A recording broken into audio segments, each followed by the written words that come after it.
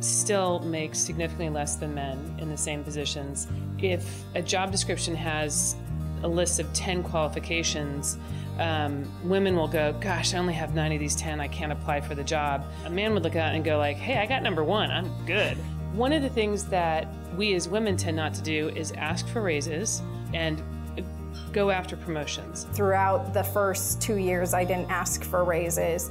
I started asking for raises as, a, as my role grew, and I obviously felt like I deserved it, so I didn't want to come off feeling entitled. I think that it is important because in the long run, it's been the best decision to stay with US Bank. There's been changes and so much more career growth. They completely shifted my position to something where I see so much longevity with US Bank. It's always a push and pull. You always want to get paid more, and companies always want to pay you as little as you can to stay. You should always be pushing and asking because it's very unnatural, I think, as a woman to ask. And I have found that all of my uh, male counterparts, my, exactly my same age, will always ask. I think I was always cautious because I'm like, well, you know, at some point I would have kids and like I don't want to ruffle any feathers. It's going to be tough already asking to take time off to go on maternity leave. And I think that was a mistake. I've now had two children while at this company and and I regret not asking for more. I was just